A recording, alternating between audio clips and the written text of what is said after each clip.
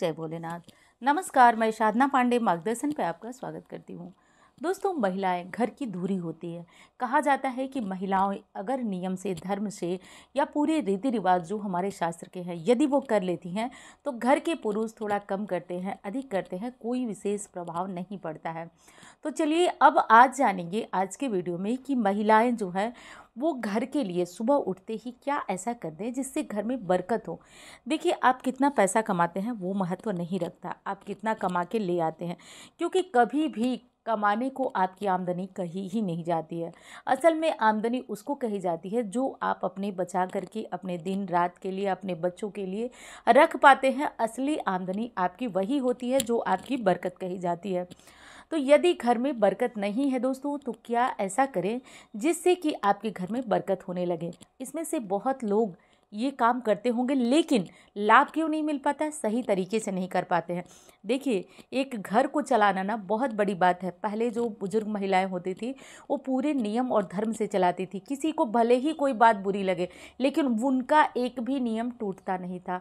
आज क्या है? कुछ तो व्यस्तता है, कुछ क्या बहुत ज़्यादा व्यस्तता है। उसके चलते हम नियम को मोड़ तोड़ करके इस्तेमाल करते हैं। लेकिन ऐसी चीज़ें आज बताने वाली हूँ, जिसको कि सिर्फ़ और सिर्फ़ आप लोग पालन कीजिए। आप निश्चित है कि छः सात महीने, एक साल भी हो सकता है, क्योंकि हम देखिए कर्म और ग्रहों को बदल नहीं पाते। हाँ उनको अपने अनुकूल कर पाते हैं। तो आज मैं बताने वाली हूँ कि क्या कुछ आप लोग ज़रूर कर लीजिएगा, विशेषकर आज की वीडियो पूरी तरह से महिलाओं पर है।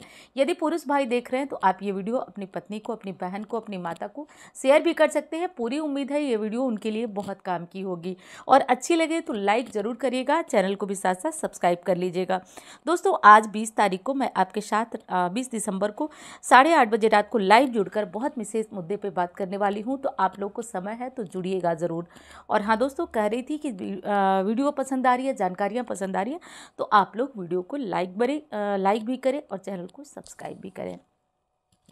देखिए, सबसे पहली चीज़ बताती हूँ कि जब आप सुबह सवेरे जगती हैं तो पहला काम पहला काम ये करना है कि आप सभी कामों से पहले, पहली चीज़ तो ये है कि आप सभी कामों से पहले आप उठें और अपने घर से ताले खोल दें। जो भी ताले आपने लगा के रखे हैं, मैं अलमारी वगैरह की बात नहीं कर रही हूँ, हम दरवाजे के ताले की बात मैं कर रही हूँ। तो आपको सबसे पहले तो अपने घर के ताले खोल देना चाहिए, पूरी तरह से खिड़कियाँ वगैरह ऐसी हैं जो खुलने लायक हैं। ऐसा ना हो कि बहुत सारे मच्छर आ जाए, आप अपनी सुविधा अनुसार देख लीजिए। तो पहले तो वो खोल दीजिए, उसको खोलने से आप देखेंगे कि बहुत कम चीज़ें ये आपको बताई भी जाती है कि सुबह ही घर में बरकत आती है। शाम को माता लक्ष्मी लेकिन सुबह बरकत आती है। तो करने के लिए ये कर ले। दूसरी चीज़ है कि घर में रात को सोने से पहले आपको अपने किचन में, देखिए वैसे तो नियम है कि अपने किचन में भरा हुआ बर्तन ज़रूर होना चाहिए। जल से भरा हुआ एक पात्र ज़रूर रखिए। छोटी सी बाल्टी आप खरीद लीजिए, स्टील वाली जो छोटी मिलती है उसको भर के रखिए।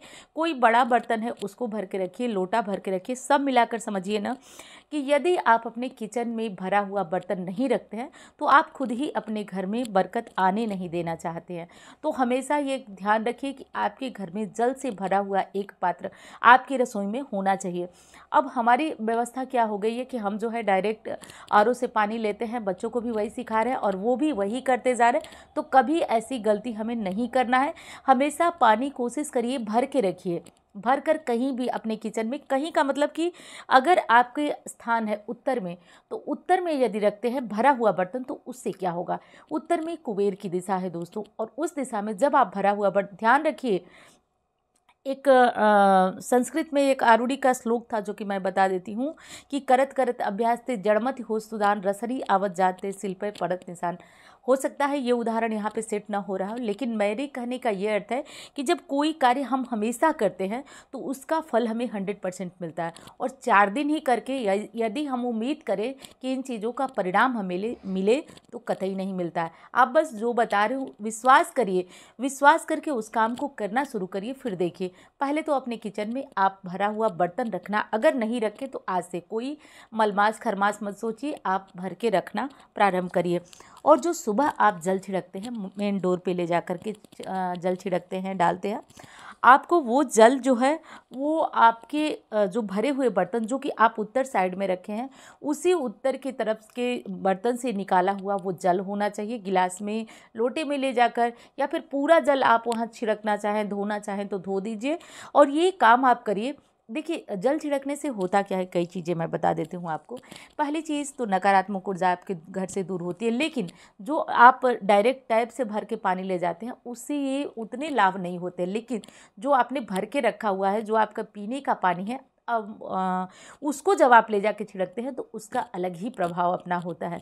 तो ये काम सभी को याद रखना है जो कि ज़रूर करना है। देखिए जब समस्याएँ गंभीर हो जाती हैं तो लोग आते हैं। और जैसे कि छोटी छोटी चीज़ें मैं बता दूँ, जैसे कल मैंने एक वीडियो डाला था, जो कि आपके घर के लिए बेहद ज़रूरी था, लेकिन लोगों को लगा कि वो चीज़ हमारे लिए नहीं है। लेकिन मैं ये बताती हूँ कि यदि कंप्लीट अपने जीवन में चाहते हैं कि कोई गलतियाँ ना हो, बदलाव हमारे जीवन में हो, अगर कोई तरह, किसी तरह की दिक्कत चल रही है तो आप लोग से बस इतना कहती हूँ कि वीडियो को बस चालू कर दीजिए और उसको रख दीजिए। कोई देखना तो है नहीं, सुनना ही सुनना है, आप अपने काम करते हुए भी इसको सुन सकते हैं। इससे क्या होगा, आप खुद कुछ दिन में सबको बताने लगेंगे। इतना मैं विश्वास के साथ कहती हूँ, यदि छः महीने, क्योंकि देखिए, हर चीज़ें ऊपर लिखी हों या वीडियो में क्या है तो वो आपके लिए या हमारे लिए, दोनों के लिए बस की बात नहीं, कर नहीं सकते। तो एक एक चीज़ जो है, होती है मेरी तरफ़ से, वो बहुत कोशिश होता है जो आपके लिए अच्छी हो। तो आप लोग अगर वीडियो को पूरा देखते हैं तो कुछ दिन में ऐसा समय आएगा जब आप लोगों के लिए खुद बताना शुरू कर देंगे। तो ये काम जो है आप लोग ज़रूर कर लिया करें, जो मैंने जल का उपाय बताया। जल छिड़कने से पहले और भी अच्छा करना चाहते हैं ना, और भी चमत्कार देखना चाहते हैं। तो आप जो लोटे में, गिलास में करके पानी ले जाते हैं जल छिड़कने, उसमें थोड़ा सा हल्दी डाल लिया करिए। वही हल्दी जो किचन में आप प्रयोग करते हैं थोड़ा सा डाल लिया करिए और ओम नमो भगवती वासुदेवाय बोलते हुए दाहिने हाथ में जल लीजिए।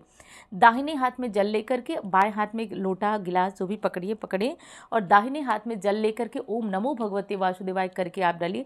छः महीने में आपके घर में बरकत वापस ना आए तो हमको कहिएगा कमेंट करिएगा और आप बताइएगा कि हाँ आपका कहा हुआ गलत है। नहीं हो सकता है दोस्तों, क्योंकि मेरा भी जिस चीज़ पर अनुभव होता है, मैं उस चीज़ को पूरे चैलेंज के साथ करती हूँ। तो आप बस ये करके देखिएगा। लेकिन जैसे बताई थी, भर के पानी ज़रूर रखना है। अगली चीज़ें क्या होती हैं? कि किसी चीज़ को बहुत हमें ये लगता है कि कोई भी चीज़ है, हमारे घर में कोई भी सामग्री है तो हम जो है, वो पूरी तरह से ख़त्म हो जाती है, फिर हम बढ़ते हैं। लेकिन देखिए, सिंदूर हो गया हमारे सिंदूर दानी में, या फिर नमक हो गया, या फिर चावल हो गया, जो भी चीज़ें हैं, प्रयास करना चाहिए कि थोड़ी हैं तो आप उनको निकाल लीजिए और निकाल कर पूरा उन उस बर्तन को भर दीजिए। ये भी बरकत के लिए ज़रूरी है करना। तो ये काम ज़रूरी हो गया। चावल का बर्तन जो है, कहा जाता है कि बहुत शुभ होता है। आप देखते हैं, बेटी की विदाई, पूजा, पाठ, कोई भी शुभ कार्य होता है तो चावल ज़रूर होता है। तो चावल को पूरा, उसका पात्र कोशिश करें कि भरा हुआ होना चाहिए। और एक बार फिर बता देती हूँ दोस्तों कि पानी का भरा हुआ बर्तन आपके किचन में ज़रूर होना चाहिए।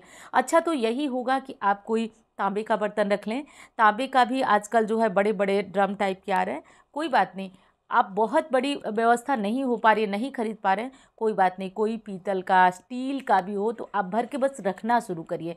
तो ये काम आप सभी को ज़रूर करना है, जो कि सुबह कब कब भर के रखना है सुबह आप जगिए, आप जगने के बाद जो आप अपने किचन की साफ़ सफ़ाई करती हैं, कर लीजिए। और जो भरा हुआ बर्तन पहले का था, आपने मान लीजिए जल उसको दरवाजे पे छिड़का, बाकी जो बचा हुआ है, आप उसको पीने के काम में ला सकती हैं, खाना बनाने के काम। मतलब पूरी तरह से वो आपके इस्तेमाल के लिए, किसी भी तरह से ये ना सोचिए। पहली चीज़ तो ये जानिए, उत्तर में जल भर कर रखने से आपके पितर प्रसन्न होते हैं। साथ साथ आपके धन का जो रुकावट होती है, वो आपके हाथ में होगी, कंट्रोल होगा, बरकत होगी। तो ये काम आपकी हो जाएगी। दूसरी चीज़ आपको करना है कि आप उस जल का इस्तेमाल खुद के खाने में, पीने में कहीं भी कर सकते कोई इसमें ऐसा नहीं है कि अगले दिन उसको फेंक देना है। ये काम आप लोग कर लीजिए। और तीसरी चीज़ आपको जो कि बहुत महत्वपूर्ण है कर लेना, सुबह सवेरे जब आप जगती हैं और घर में बहुत कलेश है, बहुत झगड़े हैं, लड़ाई है पति पत्नी के बीच नहीं पड़ता है, देखिए जैसा कि मेरा अनुभव है, परिवार में अगर धन कम होना आराम से जीवन चलेगा, कोई दिक्कत नहीं है, प्रेम हो तो। बहुत आराम से, धन दुनिया में मतलब बहुत कुछ है, लेकिन सब कुछ नहीं है। अगर धन बहुत है, परिवार में आपस में कोई किसी से बात नहीं कर रहा है, दोनों आपस में पति पत्नी इधर उधर बैठे ऐसे जीवन को नर्क का जीवन कहा जाएगा, ऐसे जीवन में धन का कोई फ़ायदा नहीं है। तो यदि लड़ाइयाँ होती हैं ना तो आपको एक काम और ध्यान रखना है, अपने घर का नमक कभी भी जूठे हाथ से इस्तेमाल ना करिए, ना ही अपने बच्चों को करने दीजिए। काम वाली लोग आती हैं तो देखिएगा वो नमक में ज़रूर दिक्कत करती हैं। उसी से प्याज जो है काटना उसी से लहसुन काटना उसी से आ, मतलब ये इधर उधर करके नमक को भी गंदा तो कभी भी अपने घर के नमक को दूषित नहीं होने देना चाहिए।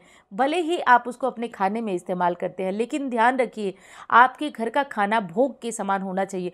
कोई भी चीज़ आप रखे हैं जैसे कि मान लीजिए आप पति पत्नी ही हैं पूरे खाने को कभी भी जूठा मत करिए। विश्वास मानिए, आपके घर की बरकत चली जाएगी। जैसे मान लीजिए पति पत्नी है, सब्ज़ी मान लीजिए आप ही दोनों लोगों को खाना है तो ऐसा ना हो कि वो चीज़ जूठी हो जाए।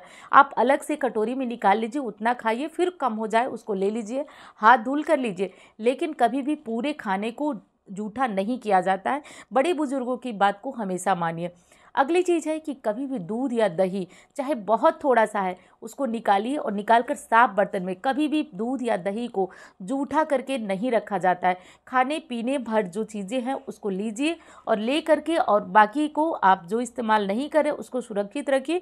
किसी भी कंडीशन में दूध या दही में जूठा चम्मच या कुछ भी नहीं पड़ना चाहिए। आप ये चीज़ ज़रूर ध्यान रखिए, आपके घर की बरकत आएगी। और एक एक चीज़ मैं ज़रूर बताती जा रही हूँ, आप लोग बस सुनते जाइए।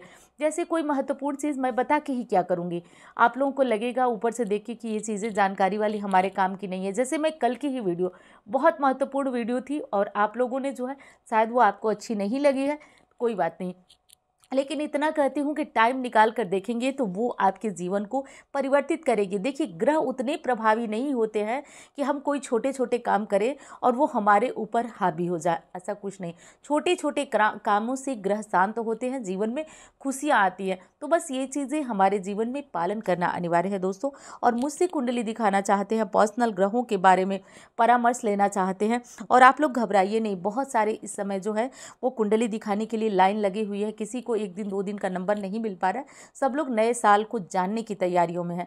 तो जो है इसके लिए भी कुछ व्यवस्थाएँ होंगी और आज के लाइव में भी बहुत महत्वपूर्ण बातें होंगी तो आप लोग के पास टाइम है तो साढ़े आठ बजे जुड़िएगा ज़रूर।